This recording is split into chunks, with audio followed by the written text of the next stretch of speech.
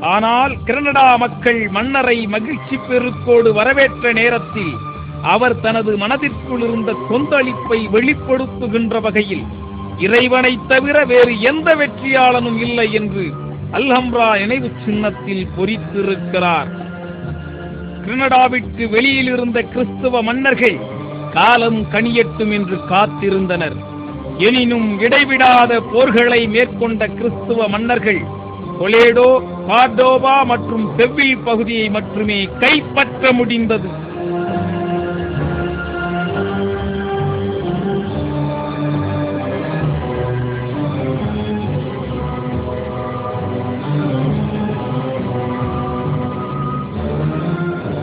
இறுதி வரையில் கிரண்டா மட்டுமே கிறிஸ்துவ மன்னர்களின் ஆட்சிக்கு உட்படாமல் கிறிஸ்தவர்களுக்கு சிம்ம சொப்பனமாக விளங்கியது. எனினும் கிரனடாவை கைப்பற்றியே தீர வேண்டும் என்ற கிறிஸ்துவ மன்னர்கள் உறுதியாக இருந்தனர். கிரனடாவை பிடிப்பதற்காக அவர்கள் எடுத்துக்கொண்ட காலம் இரண்டு நூற்றாண்டுகளை கடந்தது.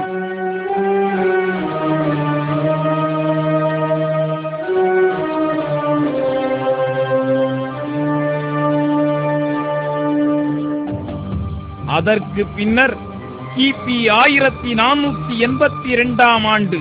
தங்களுக்கு ஏற்பட்ட பிரச்சனை காரணமாக இஸ்லாமிய சாம்ராஜ்யம் இரு பகை கொண்ட குழுக்களாக பிரிந்தன.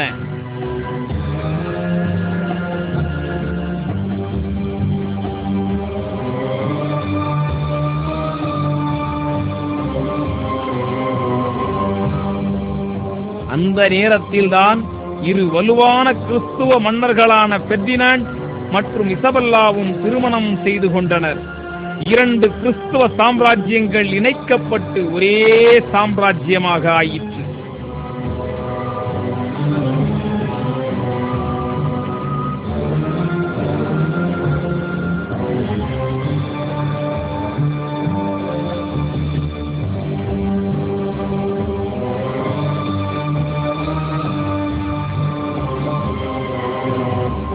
சுமார் பத்து ஆண்டுகளாக தொடர் போர்களை மேற்கொண்ட கிறிஸ்துவ சாம்ராஜ்யம் கிபி ஆயிரத்தி நானூத்தி தொண்ணூத்தி ரெண்டில் தான் கனடாவை கைப்பற்றியது.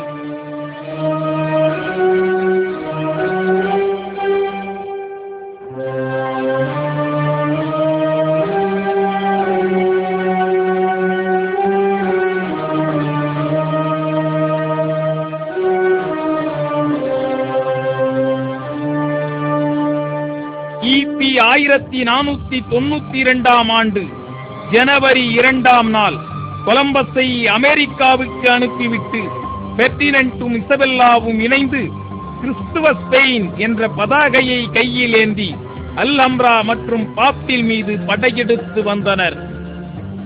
அங்கே கடைசி முஸ்லிம் மன்னர் கண்ணீர் சிந்தி நாடு கடத்தப்பட்ட நேரத்தில் அவரது வயதான தாய் மிக கசப்பாக தன் மகனை நோக்கி நீ ஆண்மகனாக காத்து நிற்க முடியாத நகருக்காக ஒரு பெண்ணை போன்று அழுகின்றாயே என்று கூறினார்.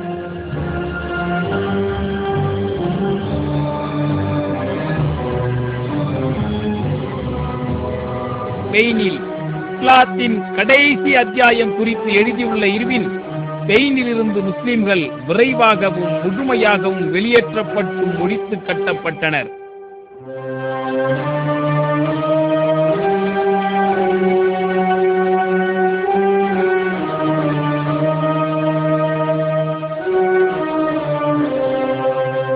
உண்மையிலேயே வட ஆப்பிரிக்காவிற்கும் பிற நாடுகளுக்கும் புலம்பெயர்ந்த பல முஸ்லிம்கள் ஸ்பானிஷ் சகாப்தத்தின் நினைவு சின்னங்களை ஏந்திச் சென்றதால் தாங்கள் குடியேறிய நாடுகளின் பண்பாடு மற்றும் பொருளாதார வளர்ச்சிக்கு முக்கியமான பங்களிப்புகளை செய்தனர். எனினும் புலம்பெயர்ந்தது பின்னர்தான் நடந்தது.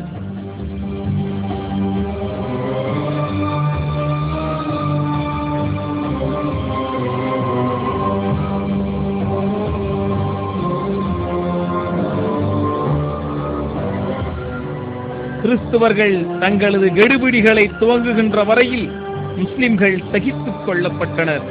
ராணுவத்தில் பணியாற்றினர். நில உரிமையாளர்களாக இருந்தனர். அவர்களது வழிபாடுகளை நடத்த அனுமதிக்கப்பட்டனர். இவையெல்லாம் சில காலங்கள் வரைதான் நிகழ்ந்தது.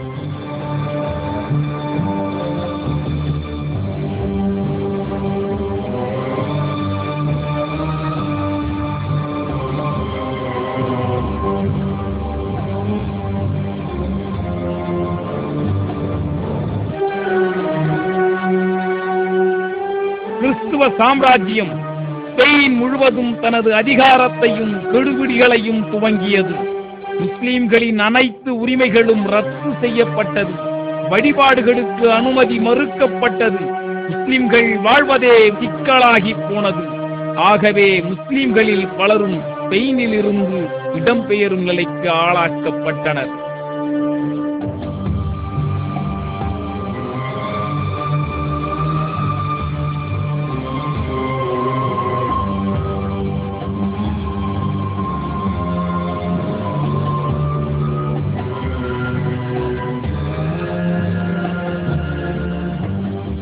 இறுதியாக பதினேழாம் நூற்றாண்டின் துவக்கத்தில் மிச்சம் மீதி இருந்த முஸ்லிம்கள் அனைவரும் வலுக்கட்டாயமாக நாடு கடத்தப்பட்டனர். கிட்டத்தட்ட எட்நூறு ஆண்டுகளுக்கும் மேலாக ஸ்பெயினில் இஸ்லாத்தையும் இஸ்லாமிய ஆட்சியையும் நிலைநிறுத்திய முஸ்லிம்கள் கிறிஸ்துவ மன்னர்களின் கெடுபிடிகளாலும் அடக்குமுறைகளினாலும் பதினேழாம் நூற்றாண்டில் வெளியேற்றப்பட்டு ஒருவர் கூட ஸ்பெயினில் இருப்பதற்கு விட்டு வைக்கப்படவில்லை. ஸ்பெயின் முழுமையாக கிறிஸ்தவர்கள் மட்டுமே வாழக்கூடிய ஆட்சி செய்யக்கூடிய கிறிஸ்துவ சாம்ராஜ்யமாக ஆயிற்று.